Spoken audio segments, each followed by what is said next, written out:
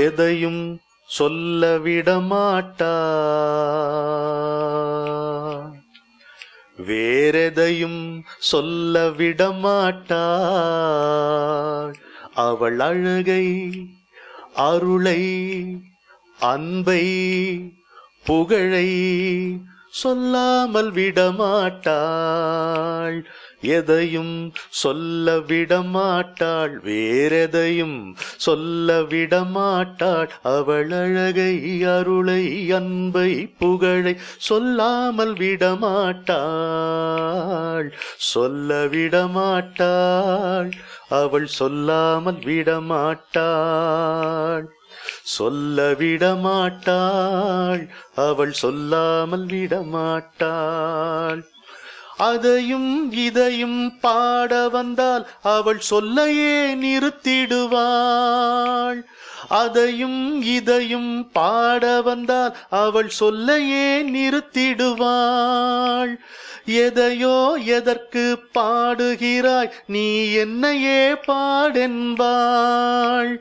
எதையோ எதற்கு பாடுகிறாய்? நீ என்னையே பாடென்பாள். எல்லையில்லாதவள் சொல்லில் வருவது இயலாதே என்பேன். நான் சொல்றேன் எல்லையில்லாதவள் சொல்லில் வருவது இயலாதே என்பேன். சொல்ல முயன்று தோற்பதுதானே சுகமான பாடல் என்பாள் சொல்ல முயன்று தோற்பதுதானே சுகமான பாடல் என்பாள் சொல்ல விடமாட்டாள் அவள் சொல்லாமல் விடமாட்டாள். எதுவும் நீயே என்பதனால் நான் எதையும் பாடுவதென்ன தவறு? எதுவும் நீயே என்பதனால் நான் எதையும் பாடுவதென்ன தவறு? எதிரே நானே இருக்கையிலே வேறெதையோ பாடுவதென்ன அழகு? கதையும் புரிந்தது கதவும் திறந்தது கவிதை பிறந்ததம்மா. அப்படின்னு நான் சொல்றேன். கதையும் புரி புரிந்தது கதவும் திறந்தது கவிதை பிறந்ததம்மா. இந்த கதவு எப்போதும் திறந்தது இன்று உன் கண்கள் திறந்ததடா. இந்த கதவு எப்போதும் திறந்தது இன்று உன் கண்கள் திறந்ததடா. அழகை காணத்தானே நீ தமிழில் கவிதை தருகின்றாய். நீ பிழைகள் கோடி செய்தாலும் உன்னை தமிழ்தான் காக்கும் என்றாள். தமிழில் செய்தேன் என்றாள். அது தரிசனமாக்கும் என்றாள். அதாவது பாட்டு பிறப்பதற்கு இந்த காரணமா இருந்த முத்தையாவுக்கு இந்த சபையிலே என்னுடைய.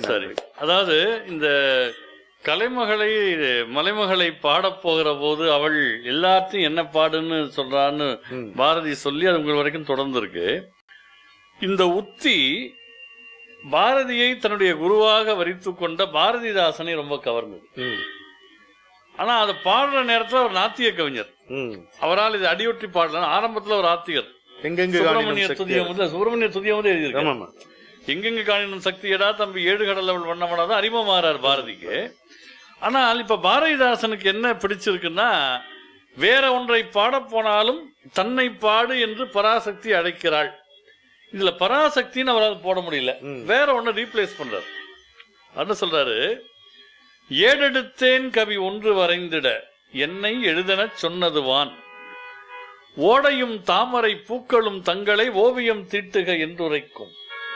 காடும் கழனியும் கார்முகிலும் வந்து கண்ணை கவர்ந்திட எத்தனிக்கும்? சோலை குளிர்தரு தென்றல் வரும் பசும் தோகை மயில் வரும் அன்னம் வரும் மாலை பொழுதினில் மேல் திசையில் விழும் மாணிக்கப் பருதி காட்சி தரும் வேலை உயர்த்திடும் வீரரும் தோள் உயர் வெற்பு எனச் சொல்லி வரைகையனும். கோலங்கள் யாவும் மலைமலையாய் வந்து கூவின என்னை. இவற்றிடையே இன்னலிலே தமிழ் நாட்டினிலே என் தமிழ் மக்கள் துயின்றிருந்தார். அன்னதோர் காட்சி இரக்கம் உண்டாக்கி என் ஆவியில் வந்து கலந்ததுவே. அப்படி போட்டார். அப்ப அதை எழுதுறதுதான் அவருக்கு மனசு வந்ததுங்கிறதுக்கு பாவேந்தருடைய இந்த உத்தி அவர் பாரதியாரிடத்திலிருந்து பெற்ற ஒரு கொடை அப்படிங்கிறத நம்ம பார்க்கிறோம். அருமை அருமை. அப்போ இதை நீங்க தொடங்குகிற போது சொன்னீர்கள் விண்ணையும் மண்ணையும் சேர்த்து சேர்த்து பாடுகிறார் பஞ்சபூதங்களுடைய பிறப்பை பாரதி பாடுகிறார் அப்படின்னு. நமக்கு கண்ணுக்கு எதிரே ஒரு சின்ன வடிவமாக விக்கிரகமாக அல்லது ஒரு குறியீடாக தோன்றக்கூடிய அம்பிகை நீங்கள் அந்த உபாசனையில் லயிக்க லயிக்க அவள்தான் எல்லாம் என்று விரித்து காட்டுகிறார் இது ஒரு எக்ஸ்பீரியன்ஷியல் ஆஸ்பெக்ட் இது அபிராமி பட்டர் ரொம்ப அழகாக அதை தன் நந்தாதியில சொல்றார். ஆரம்பிக்கிறப்ப கண்ணுக்கு அழகான ஒரு கிளி மாதிரி இருக்கலாம் கிளியே. ஆனால் கிளைஞர்னா யாரு? சொந்தம் கொண்டாடுகிறவர்கள் இவ என்ன ஆகிறாளாம் அம்பிகையிடத்தில் யாரெல்லாம் சொந்தம் கொண்டாடுகிறார்களோ அவள் மனதுக்குள்ளே இருந்து ஒரு சூரியன் போல் எழுகிறாளாம் கிளியே கிளைஞர் மனத்தே கிடந்து கிளந்து ஒளிரும் ஒளியே. அந்த ஒளி போய் தங்குகிற இடம் அது. கனவிலும் நினைவிலும் பாவலர் நெஞ்சில் கிளர்பவளே ஆமா. கிளர்பவள். கிளியே கிளைஞர் மனத்தே கிடந்து கிளந்து ஒளிரும் ஒளியே. அந்த ஒளி போய் சேருகிற இடம்னு ஒண்ணு இருக்கு இல்லையா? ஒளிரும் ஒளிக்கு இடமே. அப்புறம் சூன்யத்திலிருந்து தான் எல்லாம் பிறந்தது. எண்ணில் நினைச்சு பார்த்தா எண்ணில் ஒன்றுமில்லா வெளியே. ம். வெட்ட வெளி. வெட்ட வெளி. ஆனா அந்த வெட்ட வெளி சும்மா கடைசி வரைக்கும் வெறுமனே இல்லையா? வெளி முதல் பூதங்களாகி விரிந்த அம்மை. பாருங்க. இப்ப ஏன் இவ்வளவு பெரியவ ஏன் முதல்ல கிளின்னு ஆரம்பிச்சாரு ஏன் கிளி மாதிரி சின்னதா கண்ணுக்கு தெரியறா இந்த கேள்விக்கு பதில் கடைசி வரியில் இருக்கு அழியேன். அன்பே மயமான நான். அறியும் அறிவுக்கு அளவானது அதிசயமே. நீ ரொம்ப பெருசு ஆனா என் புத்தி சிறுசு? உன்னை நீ பெரிதாக காட்டினால் எனக்கு தெரியாது என்பதனால நான் அறியும் அறிவுக்கு நீ அளவாக உன்னை வெளிப்படுத்தி கொண்டாய். அப்படின்னு பாடுகிறார். அற்புதம் அற்புதம்.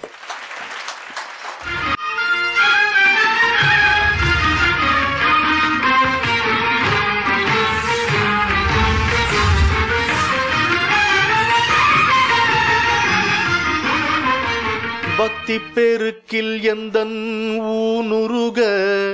அந்த பரவசத்தில் உள்ளே உயிருருக. பக்தி பெருக்கில் எந்த ஊனுருக? அந்த பரவசத்தில் உள்ளே உயிருருக.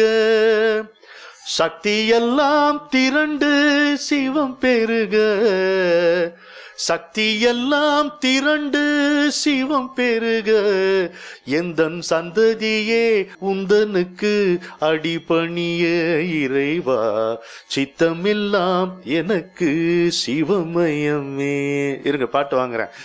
சித்தமெல்லாம் எனக்கு சிவமயமேன்னு எப்படி ஆரம்பிச்சிருக்கும்? முதல்ல கிளியா தானே சொன்னாரு அருமையான காட்சி அந்த விளக்கம் அது. முதல்ல சின்னதா தான் இருக்கும். முதல்ல வந்து நமக்கு தெய்வம் வேணுங்கிற கோரிக்கை வந்து ஒரு பெரிய மளிகை கடை பட்டியலில் எங்கேயோ ஒளிஞ்சிட்டு இருக்கும் பெரிய பட்டியலில் அது ஓரமாக இருக்கும். அப்புறம் மொள்ள மொள்ள மொள்ள அது வளரும். ஒரே ஒரு சின்ன ஒளித்துகள் போதும். ஊதி ஊதி பெருக்கி கொள்ளலாம். அது வளர்ந்து வளர்ந்து வளர்ந்து ப்ரையாரிட்டி லிஸ்ட்டில் வரும். ப்ரையாரிட்டி லிஸ்ட்டில் வரும். அதுக்கப்புறம் லிஸ்ட்டில் எல்லா ஐட்டமும் போய் தெய்வம் வேணுங்கிற அந்த ஆசை மட்டும் மேலே வரும். டாமினன்ட் டிசையர் எனக்கு தெய்வம் வேணுங்கிற வரும். அப்போ சித்தமெல்லாம் சிவமயமாகும். சித்தம் போக்கு சிவம் போக்குன்னா தனி இல்லை. சித்தத்தினுடைய போக்கு தான் சிவனுடைய போக்கு. சிவனுடைய போக்கு தான் இவனுடைய சித்தத்தின் போக்கு. சித்தம் முழுக்க அந்த சிவமாகிய தெய்வமே சக்தியாகிய தெய்வமே நிரம்பி இருந்தால் இவனுக்குன்னு ஒரு அஜெண்டா இருக்காது. இவனுக்குன்னு ஒரு ப்ரொபோசல் இருக்காது. தெய்வம் இவனை நடத்தும். அங்கே போய் உட்காருன்னா உட்காரு ஏன் போனான்னு தெரியாது. அப்படித்தான் சித்தர்கள் இருப்பார்கள். நான் உங்ககிட்ட கேட்கறது என்ன?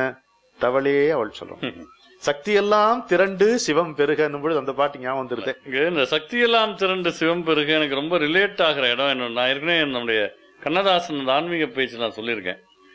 என்னுடைய குருநாதர் வந்து ஈஷாவில் தியானலிங்கம் வைத்த பொழுது.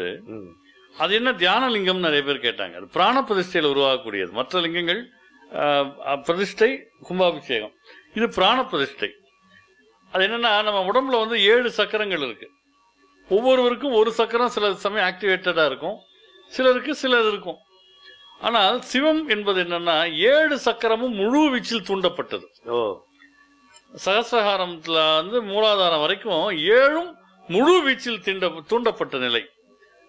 அத சத்குரு என்ன சொன்னார்னா when this energy level explodes Shiva happens அப்படின்னாரு. சக்தி நிலை முழுமையாக தூண்டப்படும் போது அங்கே சிவம் நிகழ்கிறது. இந்த சிவா ஹேப்பன்ஸ்ங்கிறது வந்து உட்காந்து வணங்கி ரசிக்க வேண்டிய ஒரு விஷயம். ஏன்னா இப்ப என் குருநாதர் சொன்னது எனக்கு இதுல ஞாபகம் வருது. இப்ப நம்ம ஜோதிர்லிங்கம்னு சொல்றோம் இல்லையா? அது என்னன்னு கேட்டா எந்த இடத்துல யோகிக்கு அந்த ஏழு சக்கரங்களும் ஒரே நேரத்தில் ஒளி பெறுகின்றனவோ அந்த இடத்த வந்து அது வந்து வெட்ட வெளியில இருக்கக்கூடிய ஒரு மர்மமான இடத்தோடு தொடர்புடையதாக இருக்கிறதோ அந்த இடத்தை அந்த யோகிகள் குறித்து வைக்கிறார்கள். இங்கே ஒரு கோவில் வரும். இதுதான் ஜோதிர்லிங்க இடம் அப்படின்னு குறித்து வைக்கிறார். சிவா ஹேப்பன்ஸ் அந்த ஏழு சக்கரங்களும் ஒரே நேரத்தில் ஒளியூட்டப்படும் போது ஒளி பெறும் பொழுது இதுல என்ன விசேஷம்னா பக்கத்துல இருக்கிறவனுக்கு கூட தெரியாது. அப்படி ஒரு மகாயோகி அங்க உட்கார்ந்து இருக்கும் போது அவனுக்கு அவ்வளோ ஒரு அற்புதமான ஒரு millions of neurons will be destroyed in the brain and he will be reborn அது மாதிரி இருக்கக்கூடிய ஒரு ஆன்மீக அனுபவத்துல அவன் பக்கத்துல உட்கார்ந்து கூட அது தெரியாது. அவன் கண்ணை திறந்து எவ்வளவு நேரம்டா தூங்கிட்டியா நீ? வா டீ சாப்பிடலாமா இவனு எழுந்து போவான். சரி வா டீ இன்னும் ஒரு மசாலா நீ சேர்த்தே சாப்பிடலான்ட்டு வருவான். அதை அவ்வளோ நார்மல் ஆக்கிடும் சிவா. ஹாப்பி ஆமா. அதாவது இந்த when energy level is full swing Shiva happens சொன்னது. இந்த பாட்டுல சக்தி எல்லாம் திரண்டு சிவம். பெருக. இந்த சிவா ஹேப்பன்ஸ் இது கண்ணதாசன் அன்னைக்கு அவருடைய ரொம்ப இது அருமையான ஞானத்துல இருந்து எழுதியிருக்காரு. இது ரெண்டும் எனக்கு எப்பவுமே கோரிலேட் ஆயிட்டே இருக்கும் இது ரெண்டும். இது நான் அன்னைக்கு சொன்னா நீங்க கவனிக்கல போல இருக்கு. அன்னைக்கு இது ஆ. ஆனாலும் இந்த தவளை இவன் சொன்னான் ஆமா. அதாவது இப்ப அம்பிகை யாரு அப்படின்னா அவள் தவத்தின் வடிவம். இங்க நீங்க இந்த கோயிலுக்கு போனீங்கன்னா கற்பகாம்பாள் மயில் வடிவத்தில் வந்து கபாலீஸ்வரரை நோக்கி தவம் செய்தாள். ஒவ்வொரு தலத்திலேயும் அவள் தவம் செய்த திருக்கோலம் பேசப்படுகிறது. குறிப்பா கன்னியாகுமரியில் அஞ்சு கனல் நடுவே தவம் ஆற்றிடும் தேவி அவள். அங்க அவ தவம் பண்றா. இப்போ அம்பிகைனா யாரு அப்படின்னா தவம் செய்பவள். தவளே இவள். பெரிய தவம் செய்கிற ஆணா இருந்தா தவன்கிறோம். அவன் பெரிய தவம் பண்ணா மாதவன்கிறோம் மாதவன் மாதவன். அது மாதிரி இவள் தவள். தவளே இவள். இவ யாரு? எங்கள் சங்கரனார் மனை மங்களமாம். மங்களம் என்ப மனைமாட்சி இல்லையா.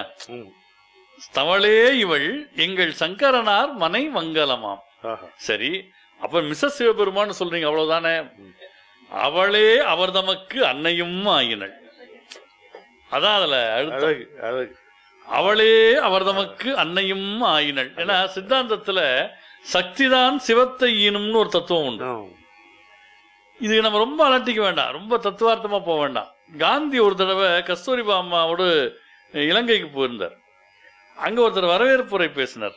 அவர் காந்தியை பார்த்த பதட்டமோ என்னமோ தெரியல. இன்னைக்கு சில பேர் இருக்காங்க. ரொம்ப டென்ஷன் ஆகி வரவேற்புரை சொன்னாங்கன்னா இதை வர வர வேர்க்கிறேன்ருவாங்க வரவேற்கிறேன்னு சொல்ல வந்தாங்க வர வர வேர்க்கிறேன்ருவாங்க அந்த மாதிரி இவர் ரொம்ப டென்ஷன் ஆயிட்டு அஹ், காந்தி தன் மனைவியோடு வந்திருக்கிறான்னு சொல்லி பதிலாக காந்தி தன் தாயோடு வந்திருக்கிறாருன்ட்டார். நான் யோசிச்சு பார்க்குறேன் இன்னைக்கு நம்ம தலைவர்கள் யாராவது அப்படி போய் அப்படி ஒரு வரவேற்புரை சொன்ன நிலைமை என்ன ஆகும்? என்ன ஆகும் அவர் விட்டாலும் அந்த அம்மா விட மாட்டாங்க. என்ன பார்த்தா அவருக்கு அம்மா மாதிரியா இருக்கு அப்படின்னு அது ஒரு பெரிய பஞ்சாயத்து ஆயிரும். ஆனா இவர் வந்து சொல்றாரு அந்த வரவேற்புரையாளர் தாயோடு வந்திருக்கிறார். காந்தி அலட்டிக்கவே இல்லை. அவர் பேசும்போது சொன்னார் வரவேற்புரை பேசிய நண்பர் தன்னையும் அறியாமல் ஒரு உண்மையை சொல்லி இருக்கிறார் இப்பொழுதெல்லாம் இந்த முதிய வயதில் கஸ்தூரிபா பல நேரங்களில் எனக்கு அன்னையாக இருக்கிறாள் அப்படின்னார். இது லௌகீகமான இந்த ஓமையும் நம்ம அங்க பொருத்தி பார்க்கலாம். தவளே இவள் எங்கள் சங்கரனார் மனை மங்களமாம் அவளே அவர் தமக்கு அன்னையும் ஆயினள். ஆகையினால் இவளே யாவர்க்கும் மேலை இறைவியுமாம். எல்லா தெய்வங்களாலும் வணங்கப்படக்கூடியவன் சிவபெருமான். சிவபெருமானுக்கே இவள் தாய்ங்கிற நிலை அடைகிறாள்னா இவளே யாவர்க்கும் மேலை இறைவியுமாம். துவளேன் இனி ஒரு தெய்வம் உண்டாக மெய் தொண்டு செய்தே அப்படிங்கிறார். இந்த கான்செப்ட் இருக்கே அது எப்படி சார் மனைவிங்கிறீங்க அப்புறம் அம்மாங்கிறீங்க அப்படின்னா இதெல்லாம் வெறும் தர்க்க அறிவு. இந்த தர்க்க அறிவை தள்ளி வைத்தால் தான் இந்த உண்மை புலப்படும்னு அபிராமி பட்டருக்கு முன்னால திருமூலர் சொல்லியிருக்கிறார். அம்பிகையை பத்தி சொல்றப்போ அவர் சொல்றாரு பராசக்தி யாருன்னா வாயும் மனமும் கடந்த மனோன்மணி. பேயும் கணமும் பெரிது உடை பெண் பிள்ளை அவளை சுத்தி இந்த கணங்கள்லாம் இருக்குமா ஆனா இது எப்படி நீங்க ஆராய்ச்சிக்கிற அறிவை தள்ளி வச்சா உனக்கு ஒரு உண்மை தெரியும் என்னது ஆயும் அறிவை கடந்த அரனுக்கு ம். தாயும் மகளும் நல் தாரமும் ஆமை. அம்பிகைதான் சிவனுக்கு தாய் அம்பிகைதான் மகள் அம்பிகள் தான் அம்பிகைதான் தாரம். யாருக்கு? சிவன் ஏற்கனவே அந்த தற்கறிவை தள்ளி வச்சுட்டான். அதனால்தான் சிவன். ஆயும் அறிவை கடந்த அரனுக்கு தாயும் மகளும் நல் தாரமும் ஆமே. என்ன அழகு என்ன அழகான விளக்கம். அப்படியே பாரதியார் வாங்கிக்கிறார் பாருங்க அவங்க அம்மாவை இன்ட்ரோடியூஸ் பண்றார் பாரதியார் பராசக்திய பேயவள் கான் எங்கள் அன்னைங்கிற எவனா சொல்லுவானா? அம்மாவை பேய்கிறார். பேயவள் கான் எங்கள் அன்னை பெரும் அப்புறம் போதாது. பெரும் பித்துடையாள் எங்கள் அன்னை. காய்தழல் ஏந்திய பித்தம் தன்னை காதலிப்பாள் எங்கள் அன்னை. இவளும் பைத்தியம் லவரும் அவரும் பைத்தியம். இவ ஆமா. இவ பேய் பிளஸ் பைத்தியம். அவன் பரவாயில்ல ஓரளவுக்கு பைத்தியம். மாதிரி வச்சிரு பேயவள் கான் எங்கள் பெருமை வேற. யார் திரும்ப எங்க அம்மா? பேய். பேயவள் கான் எங்கள் அன்னை. பெரும் பித்துடையாள் எங்கள் அன்னை. காய்தழல் ஏந்திய பித்தந்தன்னை காதலிப்பாள் எங்கள் அன்னை. ஆனா அதாவது சக்தியெல்லாம் திரண்டு சிவம்பெருக ஒரு பக்கம் இருக்க சக்தி நினைச்சாலே ஒரு உத்வேகம் இல்லையா? எனர்ஜி அப்படிங்கிற சொல்லும் போதே நமக்கு ஒரு இது இருக்குல்ல. எனர்ஜியா சொல்றது? சக்தி அப்படி சொல்லும் பொழுதே சக்தி சக்தி சக்தி என்று சொல்லு கெட்ட சஞ்சலங்கள் யாவையுமே கொல்லு பார் பாரதியார். கைகள் சக்தி தான கே கருவி யாக்கு? அரிசி அடிச்சுட்டு போவார் ஆத்ம சமர்ப்பணம். செந்தமிழ் நாடெனும் போதினிலே சொல்ல தந்தையர் நாடு என்ற பேச்சினிலே ஒரு சக்தி பிறக்குது பிறக்குது மூச்சு மூச்சினிலே. ஆமா ஆமா. அதை கண்ணதாசன் மாத்தி எழுதினார். செந்தமிழ் நாடெனும் போதினிலே கொடும் தேள் வந்து கொட்டுது காதினிலே. எங்கள் மந்திரிமார் என்ற பேச்சினிலே கடல் மண்ணும் சிரிக்குது பீச்சினிலே அவரோட கிண்டல். அதுல வள்ளுவரை நம்ம உலகத்துக்கு கொடுத்துட்டோம்னு பாரதியார் சந்தோஷம். வள்ளுவன் தன்னை உலகனுக்கே தந்து வான்புகள் என்ன சொல்றாரு? இவ்வளவு பெரிய அறிவாளியை கொடுத்துட்டு ஏன்டா எப்படி இருக்கீங்கன்னு ஊர்ல இருக்கவங்க கேக்குறானாம். ம். வள்ளுவன் தன்னை உலகினுக்கே தந்து உள்ளதும் கெட்ட தமிழ்நாடு. கொலை கொள்ளை எனும் பல நல்ல தொழில்களை குறைவரச் செய்யும் புகழ்நாடு அப்படின்னு நல்ல தொழில்களை